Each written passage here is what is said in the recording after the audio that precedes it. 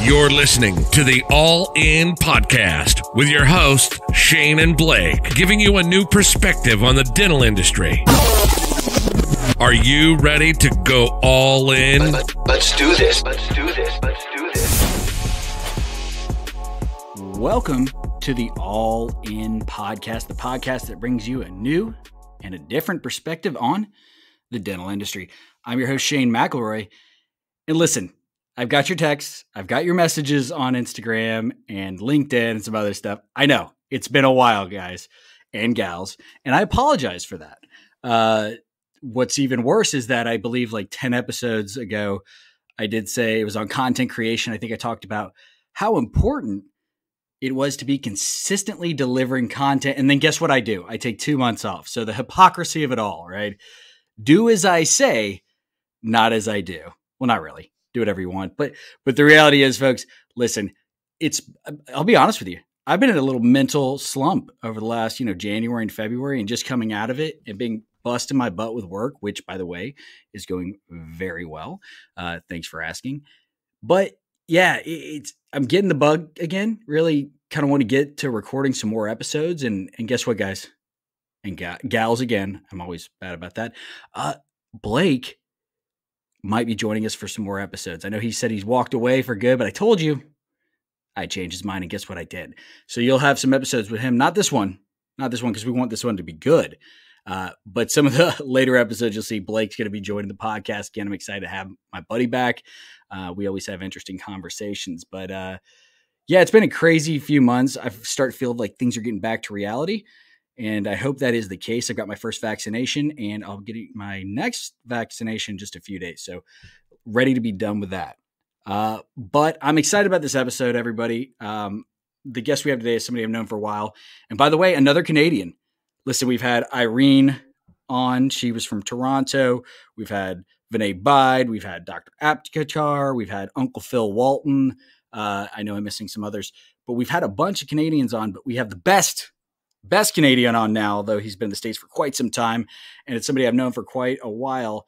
But I'd like to welcome to the podcast Dr. Peter Shatz. Welcome, Dr. Shatz. How are you?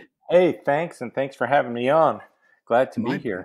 My pleasure. No, I'm glad we were able to do it. And uh, listen, I'm getting my mojo back, like I was just talking about. And and so at least I didn't get you while I was in a rut. That would no, be horrible. You sound quite enthusiastic and well rested. So welcome back online.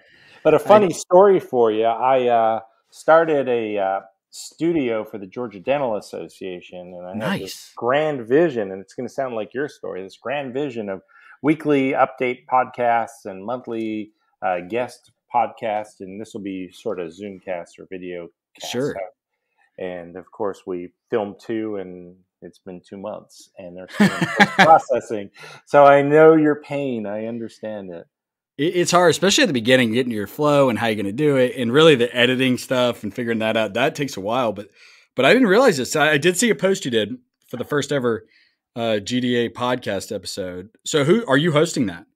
Uh, it's uh, I would rather not. We have a fantastic PR person at the Georgia Dental Association, Carol Galbraith, and uh, she's great. She got great presence. She's got a great voice. She's got great motivation. So I would only bring down the game. So I'll let her handle that. Well, that's my co-host Blake McClellan, who who comes and goes as he pleases, but he always just brings it down too. So you know, you gotta you gotta have a weak link somewhere, right? Can't all be perfect. Yes, yeah. well, Dr. Shatz, if you wouldn't mind, I'd actually like to get back to the GDA things, uh, GDA in just a minute, but can you kind of give everybody kind of like your story, right? Where you came right. from, how you got into dentistry, um, kind of your path at like high level view. Right. So if we go in the way back machine to why am I a dentist? Well, my dad was an OBGYN and always wanted me to go into the health sciences. Uh, but he had awful OBGYN time on calls, you know, oh, labor oh, yeah. delivery does not run by a clock. It does not. So I'm like, I don't want medicine. So where can I do medicine, so to speak? Nine to five, no emergencies, evenings and weekends free, and all the stuff that everyone wants nowadays is what I was wanting back in the 80s. And uh, that's where dentistry came in. And I thought, cool, we can do surgery. So I thought oral surgeon. So, of course, did a residency at a level one trauma center, and it was fun for about six weeks to do fractures and gunshot wounds at 3 a.m. Yep. And then I said, all right, how can I do surgery without 3 a.m. call? And that's where perio came in. So from sinus lifts and bone grafts and implants and the garden variety osseous surgery, periotherapy, gum grafts, and all that. I'm like, wow, I can have fun doing surgery with no emergencies and have a, a decent lifestyle. And that's where it all began. That's So- very similar to like a sales rep going for like spine or, or anything that's in the OR right. versus a dental sales rep. Same kind of idea. Yeah, There's very exactly few. the same. Yeah. Yeah. very few last second implant surgeries, right? Yeah, no, not at all. And uh, so did my perio training. I grew up in Montreal. Went to McGill University for undergrad dental and a residency. Perio training at Louisiana State University down in New Orleans. And then decided that I was tired of shoveling snow and looked for a great three season city with a fantastic economy and airport. And Atlanta is where I've been since 95 Check all the boxes there except for the all summer, the right? boxes. Yeah, I sort of misjudged how far the beach was. I said, "Oh, you know, back in the day, I had to buy a paper map and a ruler and figure out how to get from A to B." And I'm like, "Oh, I can get there after work on a Friday," and oh no, you cannot. Well, you could. You're just not going to enjoy it very long. exactly. Well, we're doing it now, so you know, we're fortunate enough. Uh, my wife Tammy and I, you know, two professionals working, so we're able to afford some luxuries in life. One of them is a beach house, and that's five hours south of here, and we can uh, Nice. hit that after work on Fridays and spend two or three days, a couple times a month, and really, you know, get the reward that we've been working for for all these years. I bet that's been nice during COVID.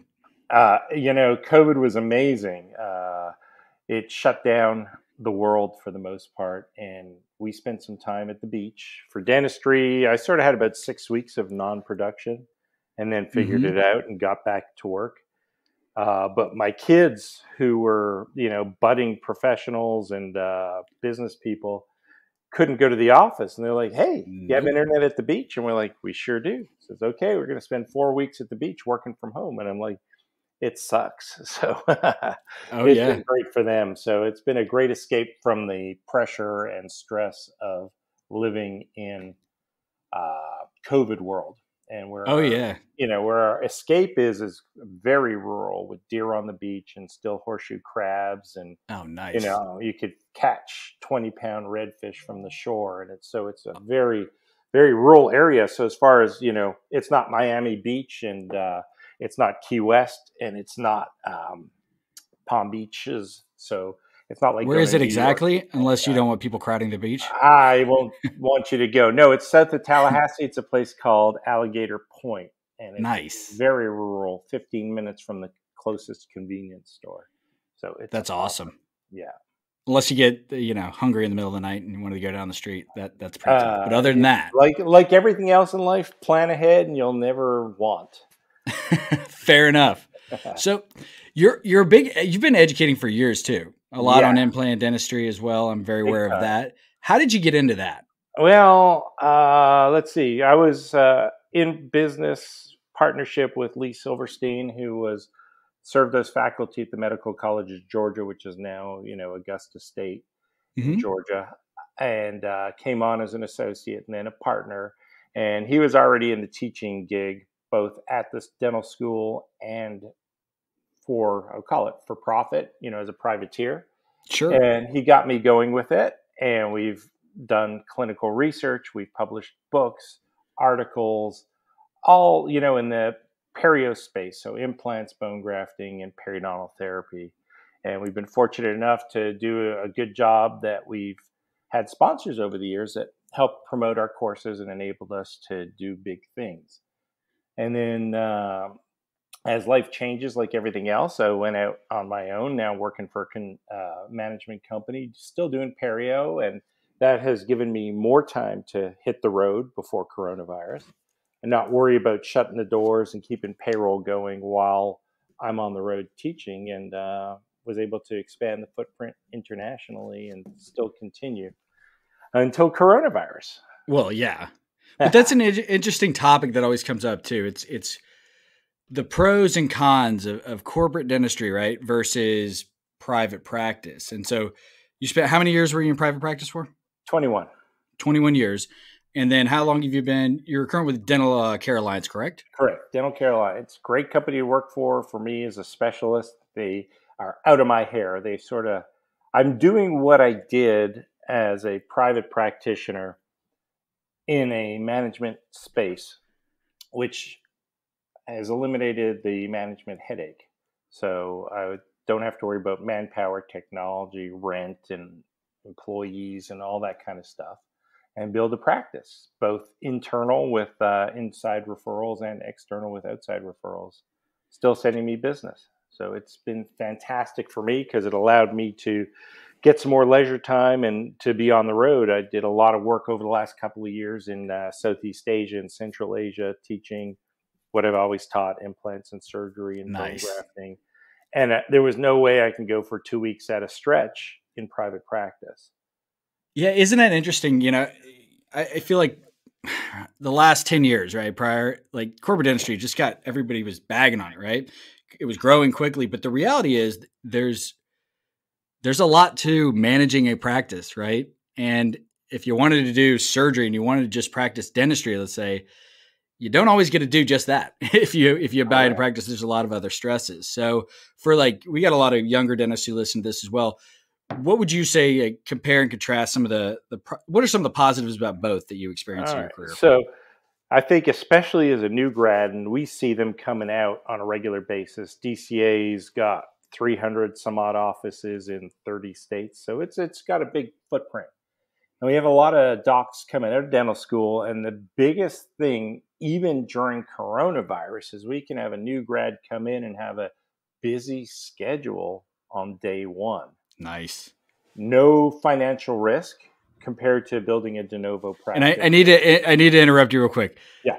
If you think as a new grad that you will walk into a de novo practice or even as an associate and just be slammed, that's not the way it works. just so it you know. It is not. It is not. You've got to build your skill set, your communication skills, your patient base, and whoever you're going to go work for, if it's in a small group practice or a solo that you're transitioning into, they still have a paycheck that they need to take home. So, very few practitioners have such a huge excess capacity that they need double the producers there right away. So, it's all a matter of building up steam and developing a referral base for yourself from friends and schools and your own network to grow the practice. So, that's great. And then you don't need to worry about anything other than developing yourself as a professional developing your skill set. Um, you've everyone's heard the horror stories about oh, there's production quotas and garbage sure. materials and whatnot.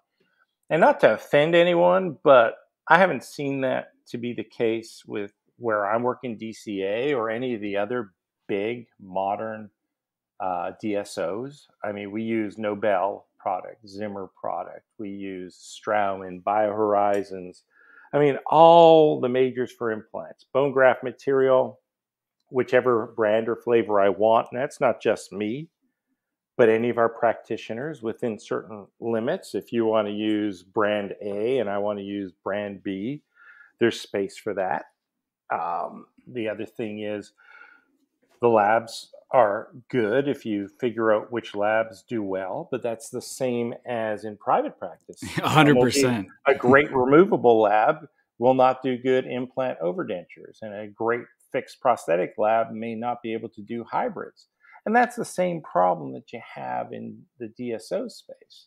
So it's not a unique thing where we're cutting corners. The ability for a DSO to succeed is all in the back office supply chain management, central business office management, mm-hmm. infrastructure management.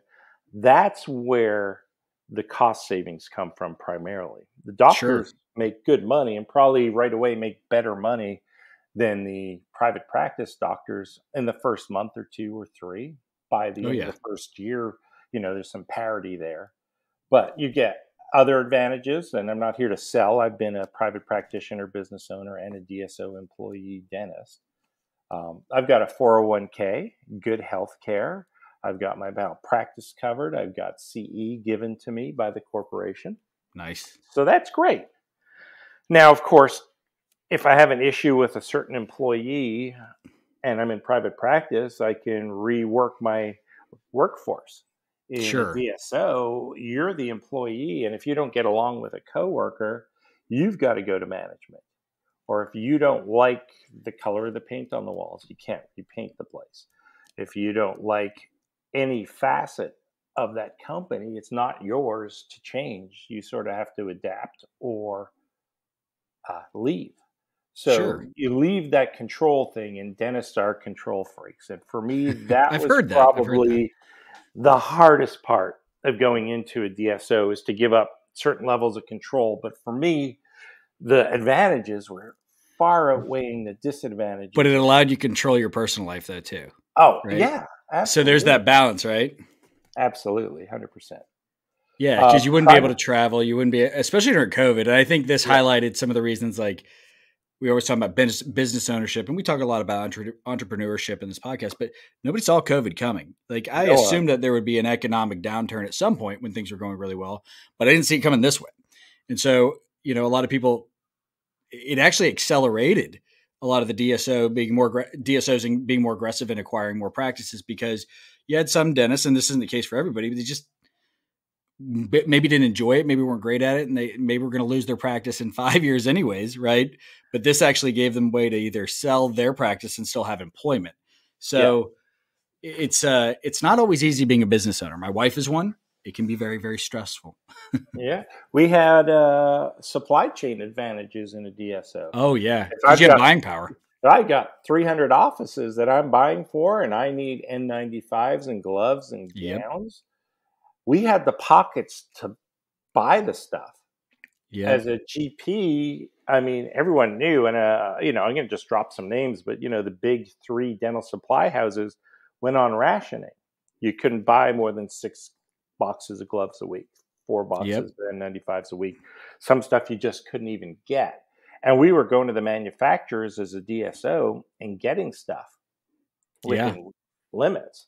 So we all had to do a step back and punt, but you know, we had statisticians on board and uh, people from the logistics and supply chain industry that saw things like, hey, we're going to have a hole in hygiene. And we took our furloughed employees and offered them a sal- uh, hourly job at a much reduced rate, but work from home and Yeah. start calling patients for appointments in July. We were calling for October hygiene visits. that's a really cool move, by the way. Oh, You know, it I, didn't, was- I hadn't heard about that. Oh, I know, but so that's some of the stuff. So we were able to backfill our schedule as we got a handle on what coronavirus was and will be to a dental practice. So it's been fantastic because I didn't have to invent the wheel. There were people who were much higher skilled than me. But as a private practitioner, you know, it was my castle, it was my team.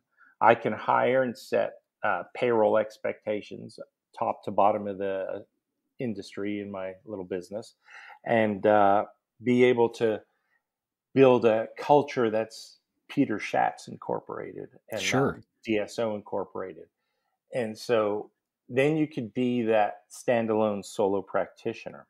Ultimately, you know, the turnover at five years is about two thirds of the docs and DSOs leave for private practice hmm but there's a huge space. You know, people want it. What are you going to do with the people who you know are um, low, medium, median income and need a place to get their teeth fixed? You know, they can go to you know a high end ritzy dental practice for a two thousand dollar crown or a DSO for a you know eight hundred dollar crown. Well, and to be fair, there's a lot of different shades. There's some high end, you know, group practices, and that line Yeah. gets blurred. What's corporate Oh, dentistry? What's not? everything's everything's blurry.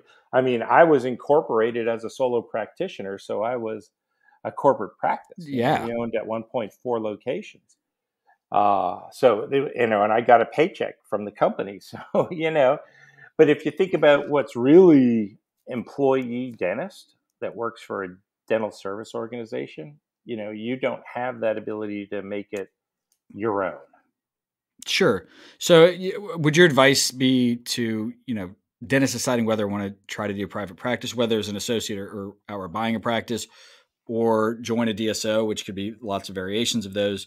What would your advice be? Would it be you know do the research on each one know know your know thine own self what you really want I think it's know thyself. I mean, there are kids that I went to elementary school with and kindergarten that were cutting yards and washing cars in middle school and became business owners. Very, very entrepreneurial.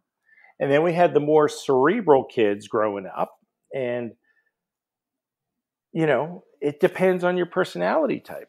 And, Sure. uh, you know, most of the dentists coming out are female. And if you're going to want to get married and have kids, it's hard to stop your practice for a maternity leave when you want to have your kids in your 20s and early 30s. And that's when you're building your practice from zero. And how do you balance that? sure and and many many do so i'm not saying that dso is a women's space so don't anyone go hate on me but i'm saying if your lifestyle is such that you want to be a family person then maybe business ownership isn't for you but if you are that i don't know tiger business person who wants to go conquer the world and be famous and invent things and create things then you know solo and are okay with risk lots and lots of risk uh, and that's fine. I mean, for me, I love risk. I thrive Sure. on risk and thrive on deadlines, and that's my jam. And so it was great to go into private practice and do those things. And we acquired practices. You know, went from two locations to three locations to four locations as specialty referral perio. So Yeah. you know, privately held. And we had what over the years, four or five periodontists work for us over the years. So there was certainly risk involved in that, but the rewards were it was mine. Was sure my creation. So again, you got to know who you are and what you want to do. And if you're not sure, then a DSO or an employee role, even in a private practice, say, you know, I'm just going to associate for a few years with, you Mhm. know, Dr. Smith's office on Main Street in a small town America, go for it. And then if you say, you know what, I need the big city, I want to be on, you know, Wall Street doing teeth for stockbrokers, then go do it. So again, it's what you want. And that's the best part of dentistry is you're not limited, you know, at all. No, and listen, when you see all the private equity money and stuff going in, it tells you one thing: dentistry is a safe bet too, Oh, it's right? It's consistent as harbor. get as hell. yeah, I mean the default rate on dental loans, you know, school loans and practice loans is so small compared to the overall lo- loan portfolio spectrum. That's why PE, private equity money, loves dentistry. oh yeah, You know, I mean, some of the biggest DSOs are multi-billion dollar entities. You know, yep. it's amazing. It's great. Oh, it really is, and there's not there's still plenty of money flowing into the dental industry right now. Oh and yeah, I don't think it's going to stop anytime soon. No, I actually think just like when implants came out, there was this pent up need. It fit an answer to a problem that's always been there. And so there was this big rush in the 90s for singles and bridges and Sure. reconstructions. And now, just like the uh, LASIK eye thing, we're sort of backfilling the new caseload. But COVID put a pause on dental service requests. And so Mhm. now we have this reservoir of unfilled dental needs that it's going to be, I'm very optimistic, and the numbers are showing it in our practice, that 2021 is going to be great as I far would- as services. Yeah, my my prediction was this. I, I I said this back. I think it was like six months ago, maybe maybe longer. You know, right when we were getting into COVID, and, and then and then we realized the shutdown was going to be longer than expected. I said I actually believe, even though you know theoretically people have less money, right? People are hitting hard times, but people have been locked in their homes. They want to go out and they want to do the things they they took for granted before. And part of that's smiling and feeling confident. And when you're forced to be at home, right? And now you have the option to go out, and maybe you didn't before because you were ashamed of your teeth. Now you really want to go out there. So, have you found that people you're finding more people doing implants and more cosmetic services? Oh, now? yeah. And I think the real reason is they're not spending money on things like the two or three times a week you go to a restaurant for a hundred bucks. Or vacations that cost an obscene amount if you have kids my age. I mean, you try and go purchase an ATV, an RV, um, you know, uh, any of these leisure craft, a jet ski, brand new Oh, from yeah. a dealer. There's no inventory. Nope. Uh, on the higher end, I know a bunch of people just because uh, North American headquarters for Porsche is in Atlanta, so I know a lot of the higher ups Mhm. as patients in the practice, and they have no inventory. I Isn't mean, people wild? are finally buying the sports car they always wanted. And of course, there's supply chain issues and reduced Sure. production, but people are spending money and they're like, well, if I can't go to Europe for the family vacation, Yep. I may as well get my ugly, crooked teeth bleached, straightened, Invisaligned, and some implants and invest in myself because that's a win guaranteed. No, hundred percent. That was my prediction. It just and that was more just logic, right? Like I just assumed that's what would happen. But it's nice to hear that that is happening, right? That's good for Yeah. everybody in the oh, industry, yeah. right? Yeah, absolutely. But it's also valuable because you can help take somebody coming out of everybody's gone through a pretty rough time. You know, I, I'll say we've been very fortunate in my family, but a lot of people have gone through a really rough time, and you can help them. That's what I always talk about. You know, people just coming into the dental industry, right? Assistants, hygienists, new doctors. I'm like, I'm jealous because you guys get to play, you know, a part in changing people's lives, and I think that's now more so than ever before. Yeah, it's like that extreme makeover show that was on Oh, yeah. a decade ago, and you know, Smile Rehab with Sure. not just you know hybrids, which is my jam, but uh, veneers and crown Oh, and yeah. bridge, and you know, getting stuff turned around and you know, changing lives. I did a, I mean, on the low end of things, I did a this afternoon. My last case was, I think, a thirty year old kid who had issues with drug abuse and got Mhm. meth mouth and we took out all her teeth and she was missing about every other tooth in her smile. Good looking kid but self-confidence issues. She's now wearing dentures because that's all she could afford. Sure. Uh, but she could not stop crying at the end of the appointment because we gave Just her the, the aesthetics of dentures, like you know, listen, the- you know the, the drawbacks of dentures, reveal. man, they can look Yeah. gorgeous yeah too. but when you go from you know Oh, meth mouth, yeah, meth mouth to straight white teeth that you haven't had since you were in high school. I mean, that's huge. It's life changing. Well, especially when you have meth mouth, like everybody kind of knows what that is now, and, and it's and sometimes you see that, and it actually could be your treatment for cancers, things like that. But but it's that there's a shame associated. I've had friends who've, who've gone through really difficult times like that, and it's Yeah.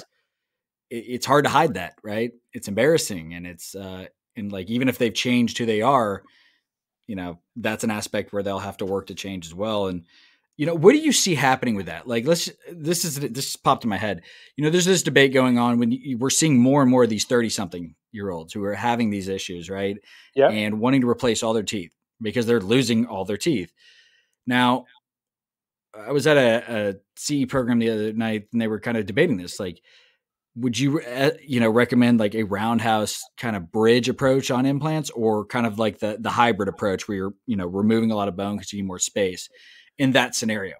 It depends on the patient's level of disease. So for me, as a periodontist, i usually get the blown out apical periodontitis patients where the bone Mhm. loss is you know down to the bottom when they breathe in the teeth move inwards and when they breathe out they wiggle outwards and, Yeah, you know so a hybrid's not it's not a hard sell to do a hybrid because they've lost that vertical Sure. component Well, of they the did that for you already.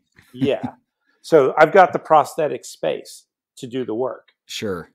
but the meth mouth where you have that height of bone because you were able to get the roots out and you have about 80% of the jawbone left. As a periodontist i cringe when people take those oscillating saws and Yeah, just go right across and you see this looks like a denture but it was that poor soul's jawbone that they took Yeah. off with their dentition intact and i'm like oh no i could do better. And that's where the zirconium fixed bridge hmm um, less space interocclusal space needed for those and you can get a fantastic long lasting result either way My Yeah. only caveat with all of them and what's helped us survive these cases with people not used to taking care of those mouths is just Yeah. if you're going to do one of those reconstructions, make sure you get those people a mouth guard. And that's not for them, it's for you to protect your work. a mouth guard and remind them this is their second chance at teeth. They will lose them if they do not take care of them like Yeah. they didn't take care of their first set. Exactly. Right. Yeah. That's one of the biggest things because I, you know, I'm a, I've been in over a thousand of those cases. I, I, you know, I'm a full arch nerd, but I've seen the downside to it too, and and that's part of it. There has to be some accountability on their side to take care of it now, um, and it's uh, I've seen when it fails because when they fail, they're massive failures. And oh, my it's fear, awful. yeah, and my fear is with the younger patients too. If they were going through addiction and they're 30, let's just say 30, Yeah. and sure, this could last the rest of their lives, right?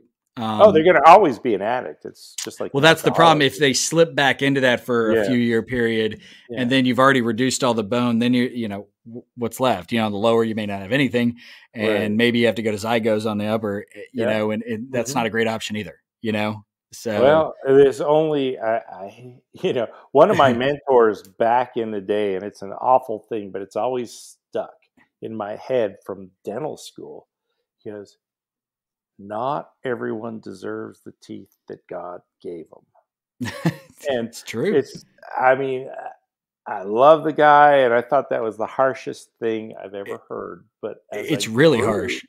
But as I grew as a professional, I'm like, yeah, but it's it's like somebody who's got an addiction. It's a Mhm. true disease, but if you don't control it, it's going to control you, and then you suffer the consequences. Family, Yeah. finance, health, the whole shebang. So you know, you try and coach them up, and you become you know an advocate for them because you're going to change their smile in their life. And so you got to let them know the value. It's not McDental, this stuff. It ain't cheap. Yeah. I mean, was it, mid 50s, depending on where you are? That's a good working number. for upper and lower, yeah, yeah. Uh, that's yeah, I'd say upper huge, 50s, really. Huge. Yeah, a huge, huge investment. And so hopefully that will scare them straight. you would hope, right? Like I'm really like fingers crossed on that because there's so many cases with young people that I'm like, please, man, please, Yeah. just take care of Uh-huh. yourself like this Yeah. time, and you don't want to go back there, but you never know. Yeah.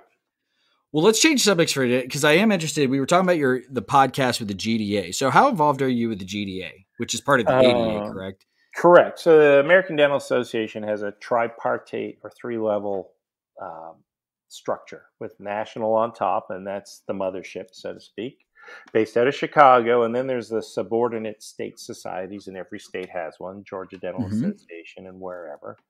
And then within each state, they break the states up into districts. And so they have the component society, which is that grassroots Sure. incubator for leadership to grow and give a fellowship, so to speak, where you have connection like any other group. And uh, so you grow from there. And I've climbed the ladder over the last two and a half decades, I guess. I was involved in the first week in den- in private practice. I was going to a dental meeting for the Northwestern District Dental Society Mhm. of Georgia. And so I was a baby dentist at that point, had no idea where Cartersville was or what a Cartersville was. It was a lot smaller back then too. it was. There was no traffic, so getting there was easy. Oh yeah. And um, 20, let's see, 95 to 26 year, years later, I was last year the president of the Northwestern District Dental Society. Nice. And so grew through all the chairs and worked myself around. And then at the state level, I've been uh, mostly on uh, finance committee over the years. I'm a delegate to our House of Delegates, which is where we do all of our politicking and legislative action and those kind of things. I've been involved with anything related to finance from um, the building and management of the building itself Mhm. to uh, affinity programs with vendors like a lender or a vendor of some product. Sure. And, you know, there's a, always a preferred vendor relationship in most associations. So I'm on the Mm-hmm. review committee for that. The general finance committee, uh, we stood up an innovation task force during coronavirus. You know, Yeah. am I going to die drilling a tooth? I am mean, I that's serious consideration, honestly. drag am i going to drag COVID home and kill my spouse, kids, dog, cat. I mean, we knew nothing. Oh yeah, twelve months ago, that was Yeah, absolutely literally. legitimate question. They were all legit. So we found forward thinkers. We had a CDC scientist on it, a virologist from Nice. UGA. We had one of the deans from the Augusta Dental School, uh, plus some other forward thinking doctors who weren't panicking. But uh, for instance, one guy you may have heard of is Ryan Fulci, and he designed a Mhm. 3D printed mask Yep. that you put the Roomba vacuum cleaner N95 filter in a square and you look like Darth Vader. But Oh, if so you you gotta look cool, too. guides, if you were printing guides and he made it freeware, right? Yeah. The design was put out and people were printing that. We were printing swabs for the state for nasal swabs when you Nice. couldn't get a swab. And so we had to be the clearinghouse to distribute all of these wonderful ideas. And then, even to the point where we contracted with Mercer University to test some of the N95s that early on were coming in from overseas. And it turned out some were gray market, some were oh, fantastic Oh, yeah. and perfect. And some you may as well put your hand over your face and breathe through your fingers because that's about as efficient as they were. Listen, some of those. Uh, listen, I know a couple of associations of different states of things. Like they all pulled money they thought they were getting from a reliable source, and they did not. And they Uh, we had- their money back. we had a Connex box, you know, one of those transoceanic shipment Yeah. boxes of N95s that we couldn't use. Oh my god. Uh, but on the other side, we were trying to purchase raw material, Mm. uh, not inside GDA, but uh, with another adventurer that I was Mhm. getting into to start manufacturing gowns and masks and anything of that was either retained in port at the originating country and so the government can hold it for their own personal needs Yep. or were i'll say it absconded by the american government to go into the national stockpile Yep. and i supported it you know i think you know the greater good always won out in my mind and was i pissed off that you know some great masks were now in the national stockpile that i bought for uncle sam but again it was you know i stocked up on rice and beans and Yeah, you know. know Me too. I, I mean, when they ran out of meat and you started seeing beef hearts and oxtails showing up at the local Publix, and I'm not in a Caribbean uh, immigrant neighborhood where that's common food items, I'm like, oh no, we've got. the the toilet shortage. paper shortage was the Yeah. freaked me out the most. I'm like, whoa, Yeah. whoa, whoa, whoa. Well, so fortunately, we had uh, laughed about it. We live on a creek behind our house, and I There told my wife, I said, as long as we have running water, I'm good. We can clean ourselves in the shower, and if the water pressure goes off, we'll go in the creek and clean ourselves like good old days. I bet bidet Okay. sales went out the roof. Oh, you yeah. know, like for real. But I wish I had, a to- Jamie like Joe Rogan does to Google that. But like, you know, but as I told my wife, I said, I've seen many a zombie movie that started exactly like this. yeah. But I know, never thought about toilet paper though. That was just for no. uh, toilet paper was an interesting animal. If you dive into it, one of the early signs was horrible diarrhea. And Oh so yeah. sales went up because people were really sick, and we didn't know who was sick. And we thought if you were in the hospital, you had COVID, but there were plenty of you know mildly symptomatic people. Part of it was like kind of like a bank run, right? Like you see somebody Oh. go and you're like, Oh, and you're like, yeah. oh, there's only a couple left. And what I figured out was later was actually they just repl- replenish those all the time, right? yeah, uh, toilet paper because they can't stock that many because how large a space it takes up. It's not like Right. cans of beans. You can have way more cans of beans than you can a Yeah. 40 pack of toilet paper. So part of that was the situation. And then you had the, well, they couldn't produce them anymore. So yeah, it's, you know, it- it's so interesting had- to think if something like this happened again, how it would, you would hope that we handled it differently. I just, It wouldn't. I I mean, little I faith in that, my wife unfortunately. my my worst fear was food insecurity. Yeah. When the cities wouldn't be able to feed their residents. Yeah. That's when societal breakdown was going to happen in Yeah. my brain. And I was worried about that. And that's when I said, you know, we'll just relocate to the beach and let the cities fight it out. Of course, Yeah, we had a Cody, Everyone Wyoming game plan if we had Yeah. to. but so did everyone else, right? So all of a sudden you're going to have squatters. So again, like I said, I've seen many of zombie movies that start this way in the breakdown of society. Well, fortunately, it hadn't happened anywhere on the planet. So kudos to humanity. We're not as awful as you would think we are if you read social media. Well, I apologize. My ADA or AD, my ADHD took us off track there, but Yeah. let me ask you this: you, you're you've been involved in so much education, uh, owning practice, right? Over the Yeah. years, um, you've gone to corporate dentistry, Yeah. but throughout the whole time, you've been involved in you know different societies and taking time to do that. Yeah. Why is that? Because I notice a lot of younger dentists, ha- regardless of the society, you don't see it as much. It's like more creating those groups on Oh. Instagram or things like that. Uh, well, what was your why, and what would you recommend now? Well, so my why is because I love being around people and I like doing a lot of different things. I'm uh, involved with the Civil Air Patrol in Georgia. Uh, you know, deputy commander for one of the squadrons. I'm director of operations for Northwest Georgia. Nice. Um, it's a for me, it's a I guess the service bug. You know, I want to serve Mm-hmm. society. You know, and that's where teaching at the Medical College of Georgia when I did that, or donated time at the Ben Massell Dental Clinic. Mhm. But what I didn't have when I was in my 20s and 30s was immediate access to the planet through social media. It didn't exist. sure.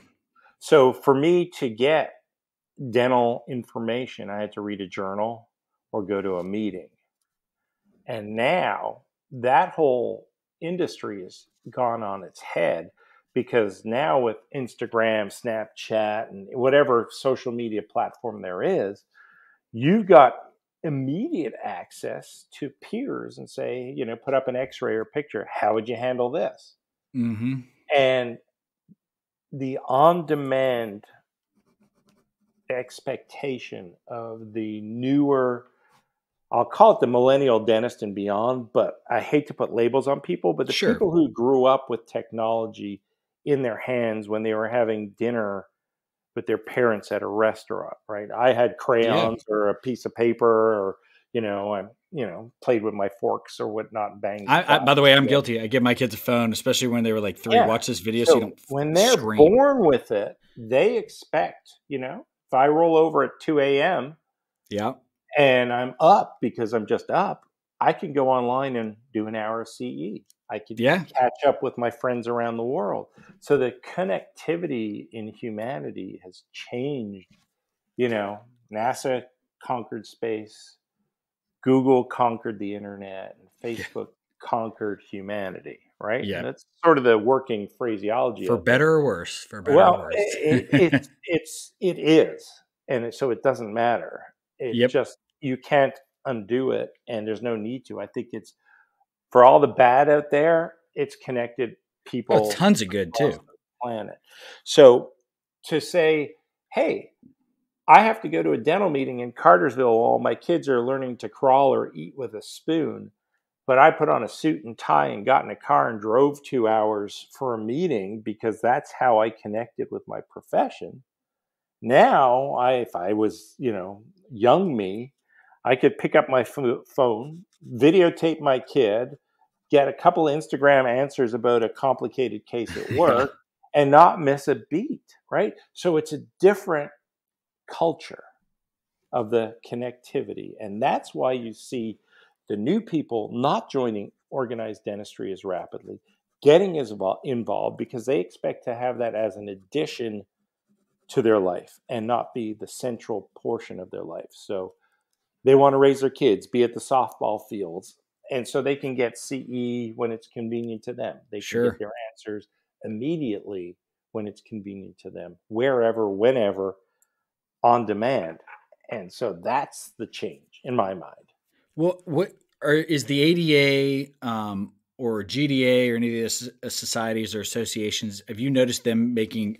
You know, I've, I've heard them talking about efforts, but what kind of changes have they made to kind of meet in the middle there? Right. Oh my God. So I've had, and it falls under diversity and inclusion, right? Mm-hmm. How to meet different people. And it's not man, woman, black, white, or whatever color Sure. your skin is.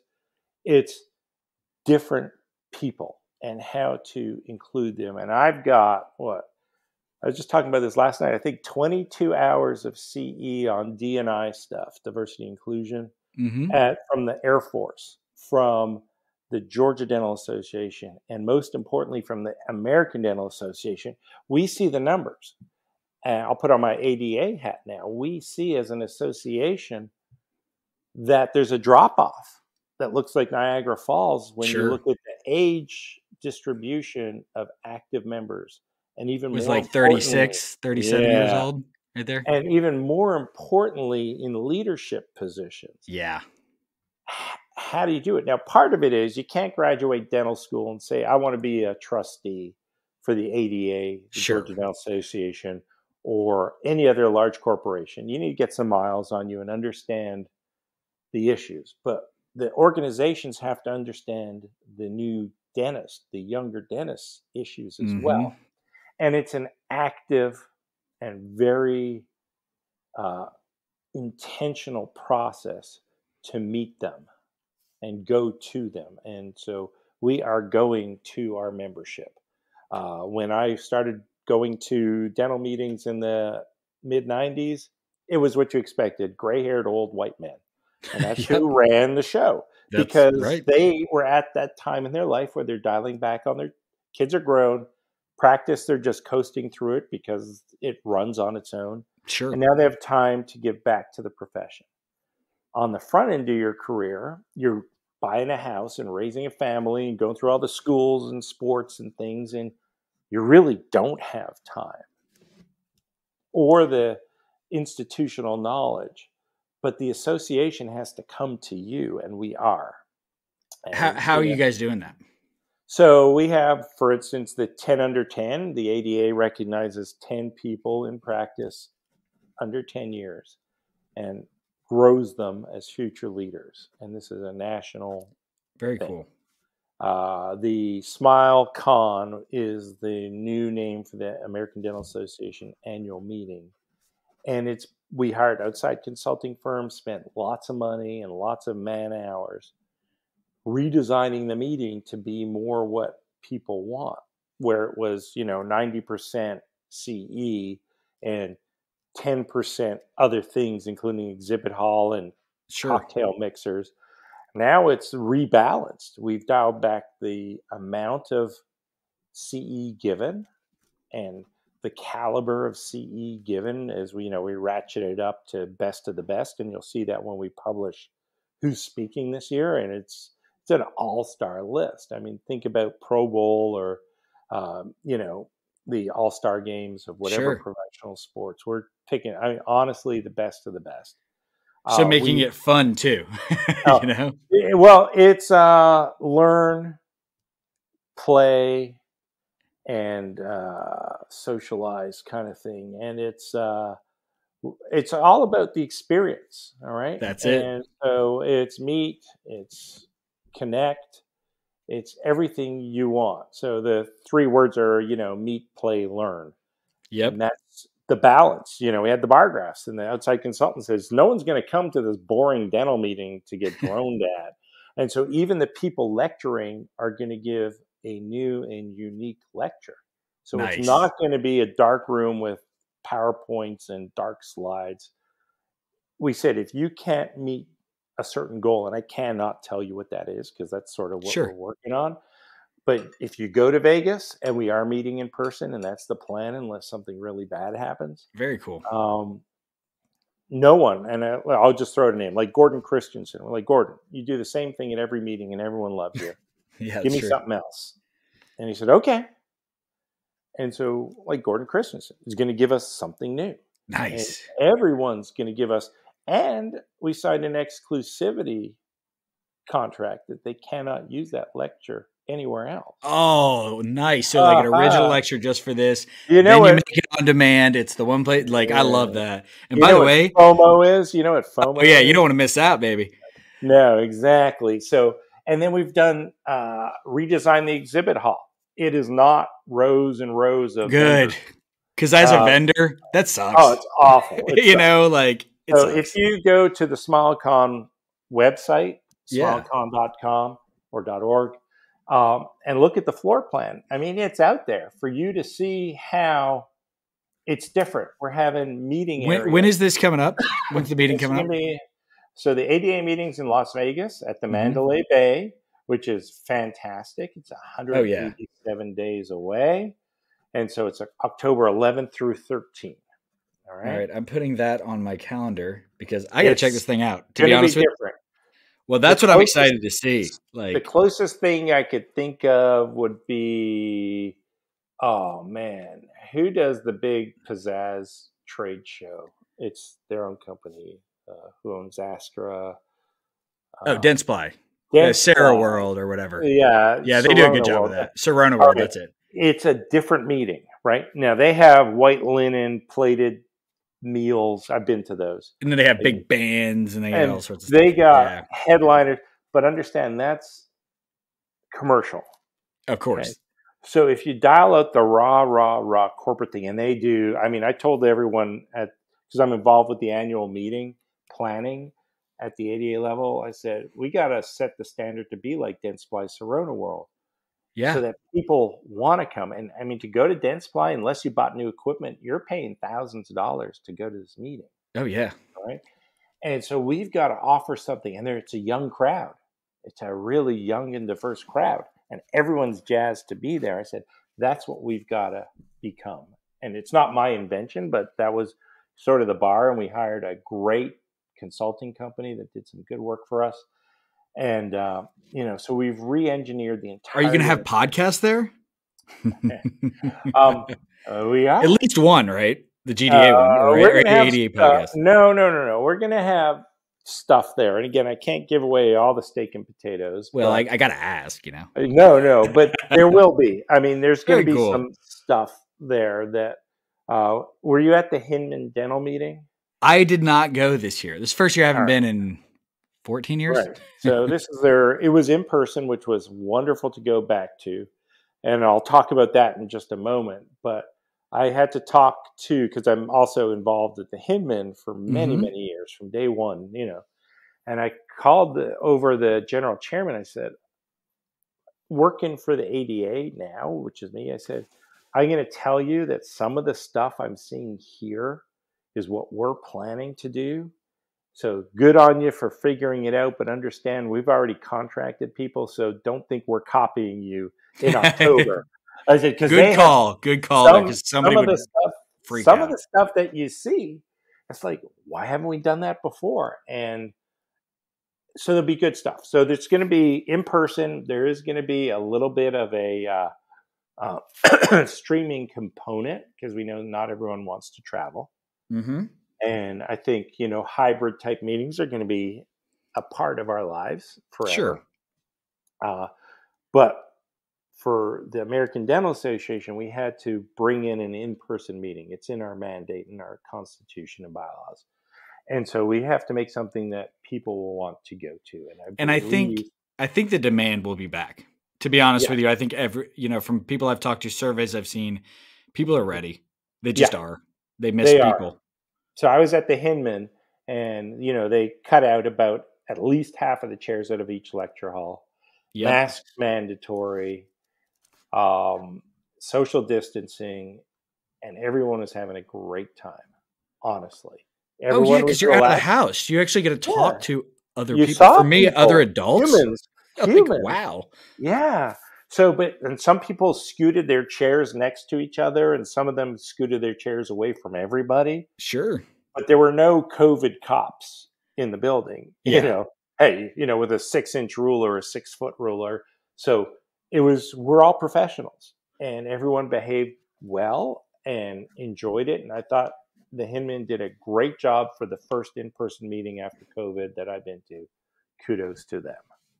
That yeah, and that's a that was my first dental meeting ever. My first day at a training with Meisinger. I literally drove back and it was during the Hinman and they just sent me right to the show. Right. it was like that's what I was born into dental and into Yeah, no, meeting. that is. I mean, that's a gold standard show. Oh, yeah. they they've got it down to a science, and they're really good. No, for sure. Well, it, before we wrap this, I got to commend you. By the way, you're talking about like what the ADA is doing, what the GDA is doing to reach out to younger people and kind of meet them where they are, where their attention is, whether it be social media and a lot of content creation. And Yeah. before we end it, I want to say, like, I've been watching. Like, part of this, you know, I, I'd reached out to you because the last couple of years I've been paying attention, you know, on social media, and then like, wow, I didn't expect Dr. Shatz to be doing videos, like patient-facing videos, and then all of a sudden I see you on the freaking news, by the way, which was like, Yeah. hey, Dr. Shatz. Yeah, And then- as chair yeah. of the innovation committee, I had some wonderful opportunities to get on TV, NPR radio, Associated Press. I mean, I had some wonderful opportunities given to me by the Georgia Dental Association that went, you know, local, regional, national, yeah. that were great. You And did really well, by the way. It's not easy. It's not easy, but again, I've been on stage for years Sure. uh, talking and the i guess the biggest learning was going out to you know central europe asia and Yep. southeast asia and just showing up with translators and all that and you get to become you know a better trade craft is all i can say. Yeah. say. Well, let me ask you this: What's more difficult? Because for you now on the stage, it's no big deal. You've done it for so long. But when you started out, like that can be overwhelming for some people. Yeah. But I've always found more difficult is when there's no audience there and a camera in front of you. oh, me, that's I'll way just say even though i'm online with you right now i disdain zoom and i've got about four or five zoom calls a week for the last year Yeah. for what for all the organizations I'm involved with hate it. It's Uh, it's a it's a love hate for thing for me too. I've become very comfortable with it, and it's done well for me in my career because I got onto it early. But yeah. it is Yeah. a pain in the ass for, especially when there's a It- bunch of people on it. Just sucks. Well, what you can't do is you don't get for me the human connection. I was never uh, yeah, a virtual reality person. Be it Dungeons and Dragons, never did it for me. I liked sports. Um, gaming online, I've never done Call of Sure. Duty. I would go out and ride motorcycles with friends. Um, nice. So it's those kind of things. So I was more a full contact sport kind Yeah. of person and not a cerebral online, but it's there. But it also didn't exist. So it, you know, Sure. it's not what I grew up with, but we have to go to the members and the Georgia Dental Association's doing it. Our leadership is the pipeline to the national level. So at the local level, like in the district level, leadership is young and vibrant and diverse. But it Well- takes time for that pipeline to backfill the Yes. state level, which then grows leaders for the national level. So it's going to take some time, but everyone just know we know we're working on it and if we haven't reached out to you or reach you in the right way then i'm sure shane will be able to Oh yeah. point you in my direction and you can find me and yell at me and tell me how i'm doing it wrong and how Don't i can stick do them. it Don't better. stick 'em on me, man. no you're just going to be the filter and just send them my okay. way Uh, yeah, I'll be like, you be nice. You be Yeah, nice, I'll be- right? yeah yeah yeah nice. well, I would say this though. I, I think one thing that uh, you know all the younger people like out there about social media, and they always talk about community in, in a sense, is you haven't really, if you haven't been involved in the associations, that's really where that started, and then you, you got used to the online, and that's what you grew up with. But I would say there's so much experience out there, right? For somebody like you, Dr. Shatz, who've been doing, how long have you been practicing now? 1995 since 1995, right? So you can do the math. That's 20, almost 26 years. Yeah, Yeah. right there. Yeah. Pretty good. Pretty good for a dumb guy. yeah not Right. bad Yeah, I, that's pretty good for me. Um, but there's so much that he can share with you, and and there's more of him there, right? No, and so no matter better than me out there well, that's Uh, kind of you to say, but um, I just think you should interact with that and, and take on leadership roles and service roles because it is extremely rewarding, regardless of whether you're in dentistry or you're in sales. Like I give back all the time. Like I make it a mission now, and I wish I had started even younger. Right. Um, you don't have to be experienced for 20, 30 years to do that. Start learning now, getting involved and giving back. And it's super rewarding. Uh, yeah, short get and long term. get noticed Oh yeah. You like attention? We're looking for people. Yeah. Yeah. If you, this is like going to the bar and being the you know being the only guy there in a room full of ladies if that's what your thing is right like it's a it's a good time if you want to be in a leadership role is what yeah, i'd say Absolutely. I probably phrased that horribly, but that's all right. That's perfect That's all right. Yeah, you just talk to HR at the end of this call, would you? I am the HR department on this podcast, so we're good. Uh, but Dr. Shatz, thank you so much for joining uh, joining the podcast. It's been almost an hour already, and it flew by. Um, so I always enjoy speaking with you. And and uh, again, the ADA SmileCon meeting. I like what you did there. Uh, like Comic Con is October Yeah. 11th, to 13th, correct? Yep, Mandalay Bay, Las Vegas, and it's going to be a fun meeting. Honestly, I, I wrote it down. I'm gonna actually, I'm gonna be there. And I'm not a huge Vegas fan because I almost didn't survive a couple times. But Yeah, I'm gonna take the risk of- There's different this. kinds of Vegas. I'm I'm much older now though, so Yeah. uh, we'll probably be a little more mild now. But again, thanks so much for your time tonight, and Hey, I appreciate you coming on. Thank you, thank you. anytime. Well, thanks so much, and guys, we'll catch you on the next All In podcast. Thanks for listening to the All In Podcast. See you next time.